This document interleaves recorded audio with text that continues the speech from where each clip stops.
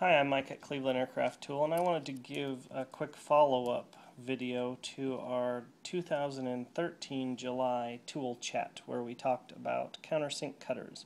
Uh, the reason is the camera didn't focus very well and I wasn't able to really show what I wanted to show here. So what I have here is single flute cutters. The single flute cutters, or sometimes they're called high hook cutters, have a single cutting flute uh, right here, here, here, and that's created by a hole drilled uh, kitty corner through the countersink itself. The cutters themselves, if you look at from the end, you can see that they're shaped on kind of a conical machine. So only this this cutter area, the the very edge that is cutting on the aluminum, is what's touching the edge of the hole. So as that rotates it around, it peels off that uh, that chip, creating a really nice, smooth uh, countersink because it's always touching the material and always in one spot. Also, the conical shape tends to hold it really, really well in the center, and then, of course, the pilot is what keeps it centered in the hole. So you do want to use the right size pilot for the hole that you're using. Now, you can see here that the, the tip is cut away quite a bit. That hole actually goes through the pilot, especially on these small ones. So you do have to be careful not to get a side load or uh, you don't want it to be in a hole and, and then get it cocked over because it will break the tips off, especially these little number 40s. And that's why a lot of other companies don't sell them. Um, it's just a, a, fairly high failure rate, but we think it's important to, to be able to do the best quality work you can. Now, of course, the other type of countersink cutter is the three flute that you see in most places. It's um, the commonly used aircraft aluminum countersink cutter. They they are cutting on all three of these edges. If this was placed into a cone, all three of these edges would be touching the cone at the same time.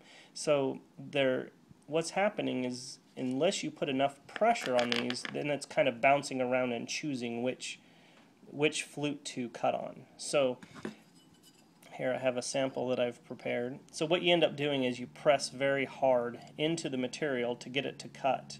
Otherwise it's, like I said, bouncing around on those three flutes. So one of the other things that I wasn't able to show in the previous tool chat, the July 2013 tool chat, is um, actually countersinking. I, I showed it, but the resolution was just not usable. So you can go back and watch that if you want. It's from about 17 minutes to about 22 minutes into the tool chat. So what I'm going to do here is I have a three flute cutter set up that I'm going to um, dimple or going to countersink this piece that I've prepared. So let me refocus the camera a little here. There we go and I'll go ahead and do that. Hopefully you can see what I'm doing. I'm turning it fairly slow and pushing, pushing fairly hard. Now if I was using a cordless drill, this would be easier.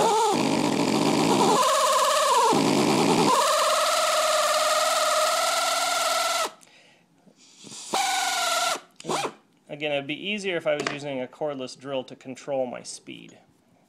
So, and the, the torque on the cordless drill is obviously much better than on the air drill.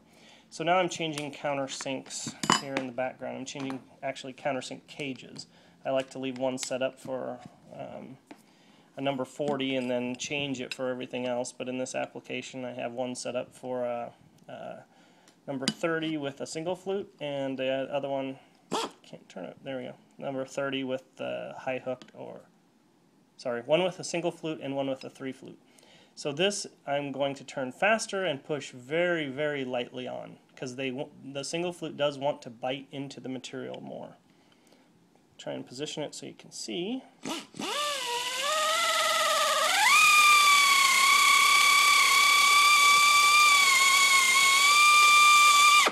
Now, oh, I don't have it set very deep. That surprised me. Hold on just a second here.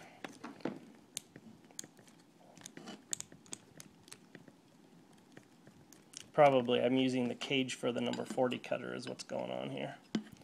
Alright, so let me try again.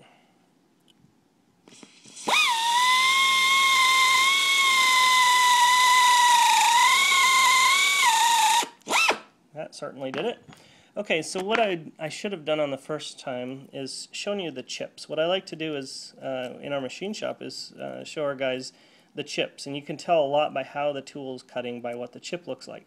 This is very fine chip. looks uh, It's like aluminum foil almost. Um, and it's pretty smooth. I'm not sure you can tell that with the camera. Let me pick up this one right here and see if I can refocus. Not that close. There we go. So it's pretty smooth around there. Even the, the chip doesn't have much chatter. Versus some of the stuff that I should have showed before I drilled the, or before I deburred the second one. But these chips are heavier that came off the three flute cutter. And um, they're just more solid. So it's, it's biting that chip and tearing it out more than it is truly cutting it. So now the real money shot, right, is taking a look at the actual countersink. Again, I'm too close. So the one on the right is the one that was done with the three flute. The one on the left was done with a single flute. And I'm, I'm looking at the camera while I'm doing this, and you just can't see it in the camera. I thought you would be able to, but this one has little wavy chatter marks in the bottom, where this one here is, is more almost like it's been polished. Um, so I wish I could show that better, but anyway, that's the difference between the two different types of countersinks.